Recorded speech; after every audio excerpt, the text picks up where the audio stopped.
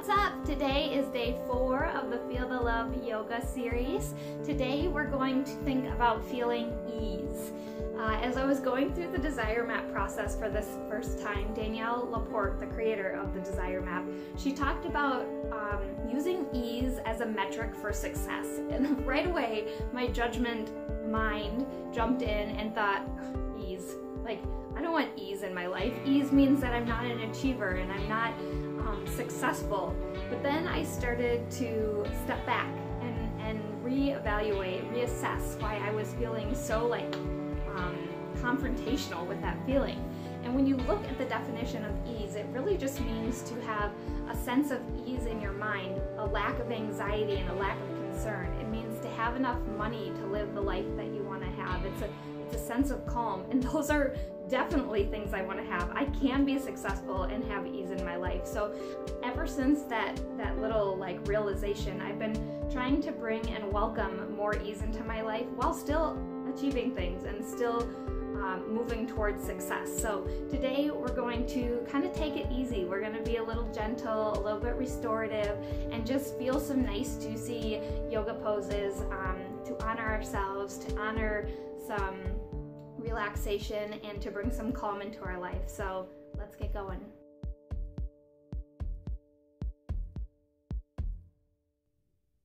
Okay, so like I said, today is all about being easy.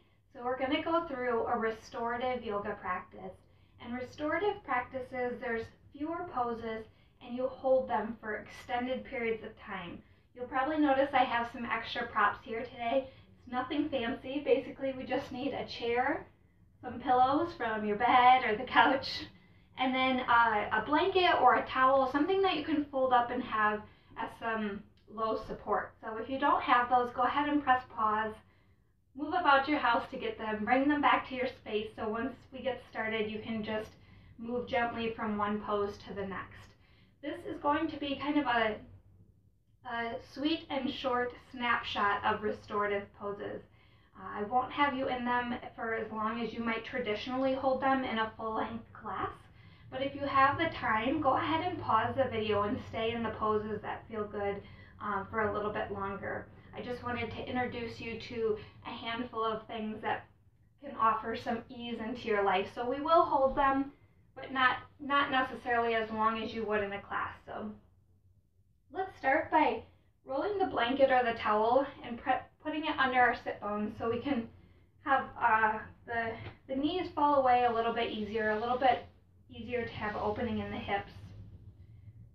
And we're going to start today with a three-part breath. So this goes by, uh, you start by putting one hand on your belly and one hand on your chest. And you'll inhale and fill the belly like there's a balloon expanding. A short pause. You'll inhale again, feeling the ribs expand.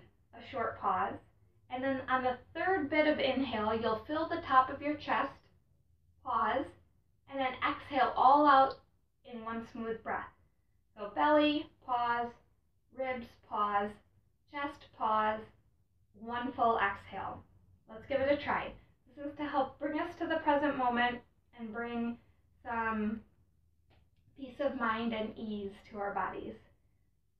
So start by exhaling all of your air. Inhale the belly, pause. Expand the ribs, pause. Fill the chest, Pause. Exhale. Good. Inhale the belly. Expand the ribs. Fill the chest. Exhale. Fill the belly. Expand the ribs. Fill the chest. Exhale. As you exhale, think about pulling your belly button in towards your spine. It'll help squeeze out, press out all of the air, get the stale out air out. So on the next inhale, we'll bring in fresh air. Let's go through this three more times. So fill the belly, expand the ribs, Fill the chest. And exhale. Two more on your own.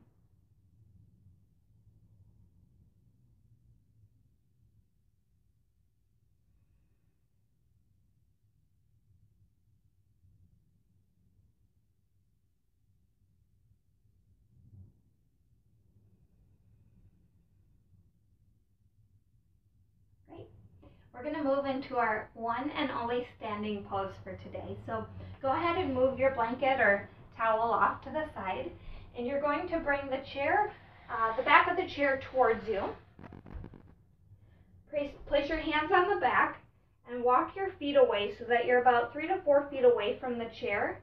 And then you're going to drop your heart and chest down towards the floor. Now, if you can, Think about spinning the upper arms towards the ceiling. While at the same time, spinning the upper legs back towards the wall behind you. Pull your belly button in and breathe into the back of your body.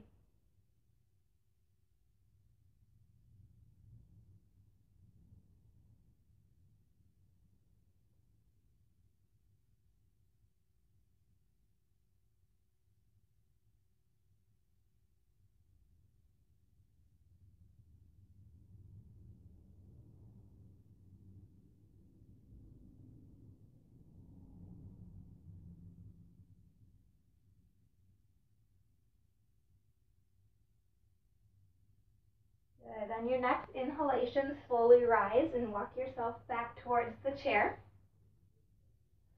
The next move we're going to do, the next pose, is supported child's pose. So bring your big toes together, open your legs wide so that we can bring some pillows in. And we'll put the pillows between our legs. I like to stack them high on this one. And then you're just going to recline over the pillows here.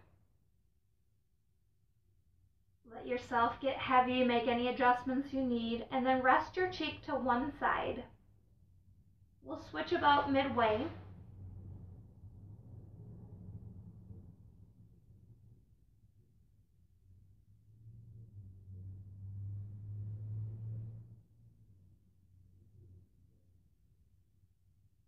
Continue practicing those full breaths. Feel your belly press into the pillows. And your back body expand.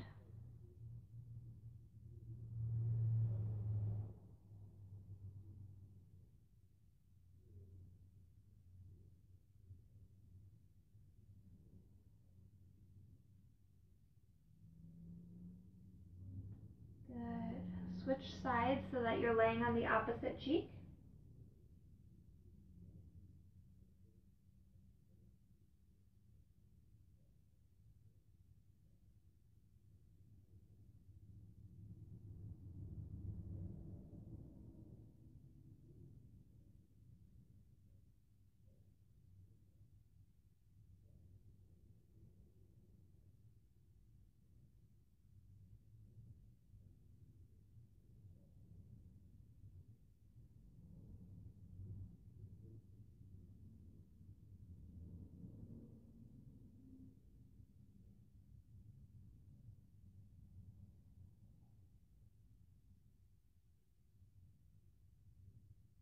On your next inhale, slowly rise. Walk yourself up with your hands. we're going to turn towards the chair once again.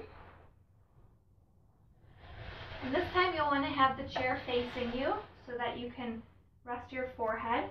We're going to go into supported Baddha Konasana, so a butterfly with some support from the chair. Go ahead and grab your blanket or towel and move it under your sit bones so that you can have elevated hips here.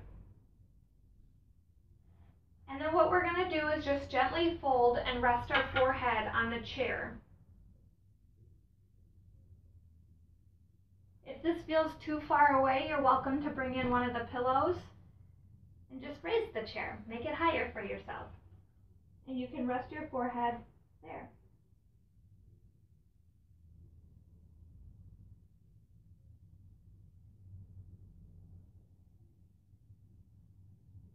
Bring yourself back to this room, to the present moment, using your breath.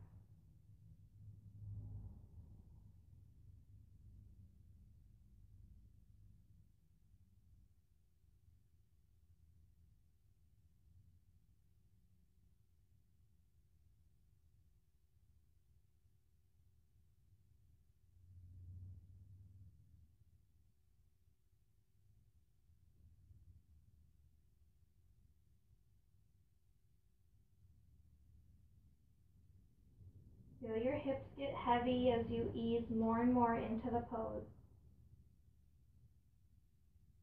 Let yourself release the weight of your body.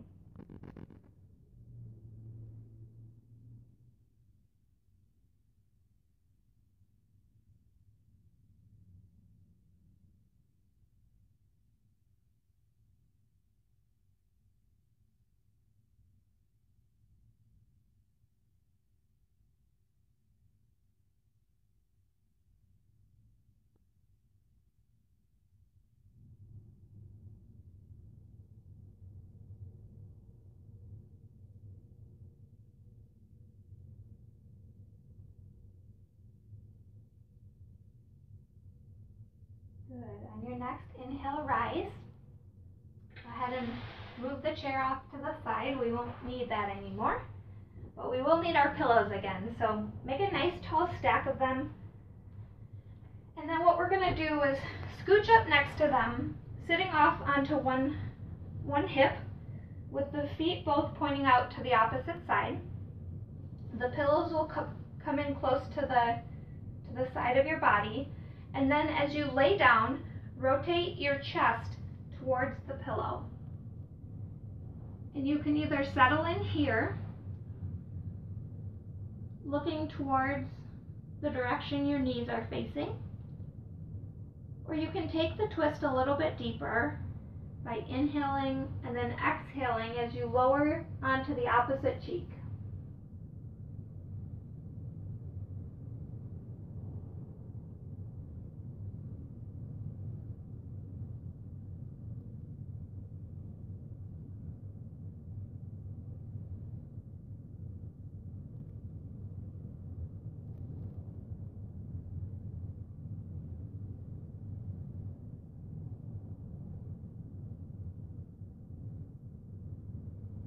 Think about the inhale and the exhale.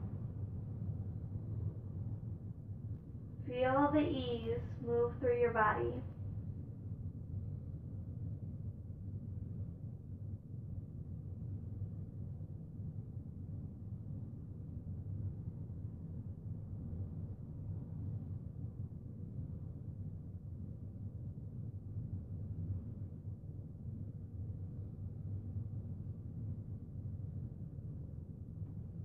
On the next inhale, slowly walk your hands up. We'll move the pillows to the opposite hip and our feet to the opposite side.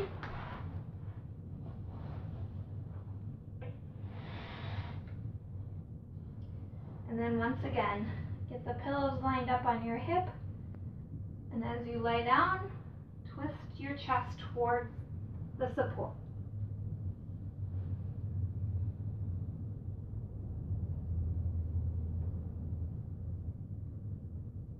Fully revolving with the neck or not, whatever feels best to you today.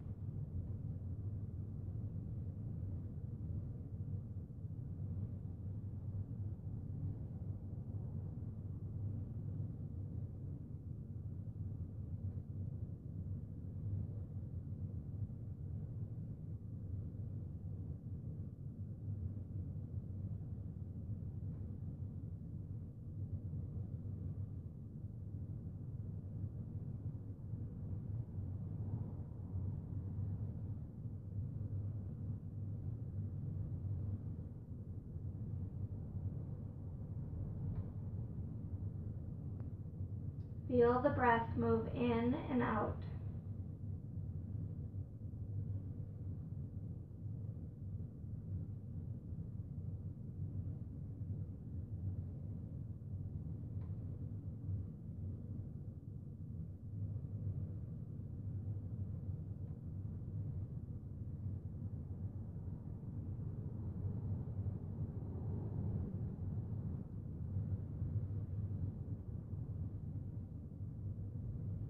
Good. On your next inhale, push yourself back up gently. And our pillows are done for today, so they can be pushed off to the side.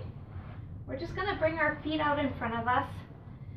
And before we move into some yummy legs up the wall, let's just give them a little bit of love. So massage out the soles. Our feet are our foundation and they carry us miles and miles and miles. So it's so important that we show them a little bit of love now and then, often actually.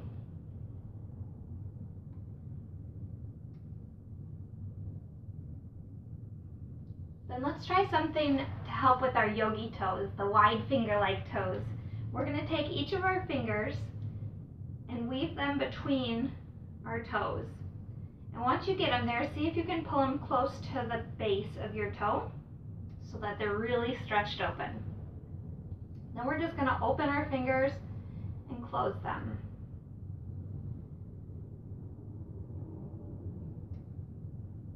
The more advanced poses we move into, the better it is to have some support from our feet. So toes that can be wide and active and grippy are super helpful. So if we never spread them apart, we can't expect them to respond like that when it's time to do the poses. So we spread them now so that they'll be ready to help us later. Switch to the opposite foot.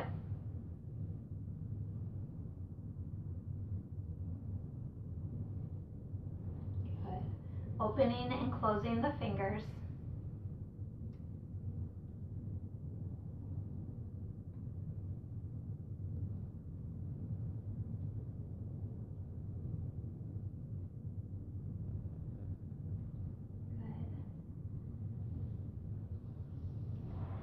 Okay, the last pose for today, we're going to do legs up the wall. If you have any issues with blood pressure, you may just want to skip this pose and do Shavasana instead. So laying out in corpse pose on your back. If you're ready for legs up the wall, an easy way to get into it is to sit with your hip really close to the side of the, your hip really close to the wall. And then as you lay down, you'll swing your legs up and once you're there, you may want to slide your blanket or your towels under your hip bones. Activate your feet so you can get some good alignment. Feel your hips press into the ground. And then you can let them be at ease. Your hands can rest in a goalpost shape or on your belly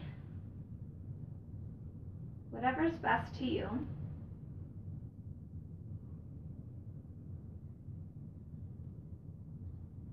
Bring yourself back to the three part breath. So exhale all the air. Fill the belly. Expand the ribs. Fill the chest. Exhale.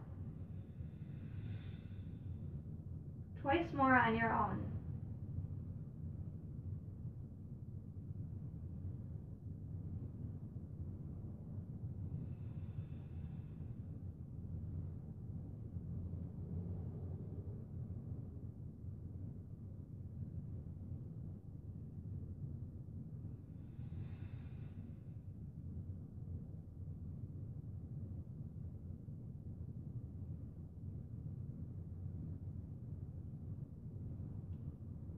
Grounding of your hips.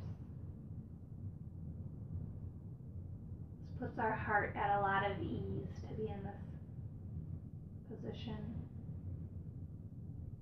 Doesn't have to work as hard to get blood to all the vital organs.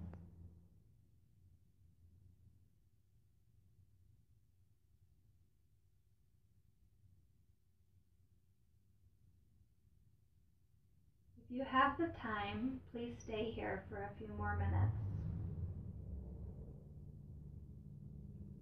If you're ready to come out, slide your feet down the wall and let the bottoms of your feet come together. Then hug the knees in and roll to the right side with the right arm extended overhead. Lay for a breath or two.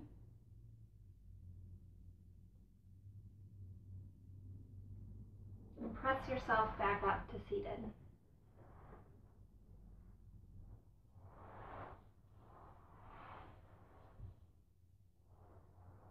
I hope you've enjoyed this juicy restorative practice. I've had so much fun doing it myself here. I feel very refreshed.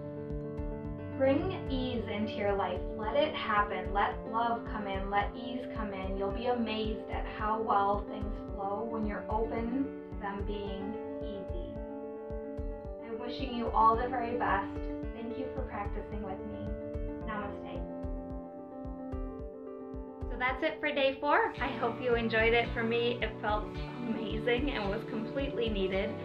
Um, you feel like anybody you know would enjoy this, please pass this on to them or tag them in the comments below. If you have any questions or comments, also feel free to leave them in the notes below. I look forward to engaging with you. Wishing you all the best. I'll see you tomorrow.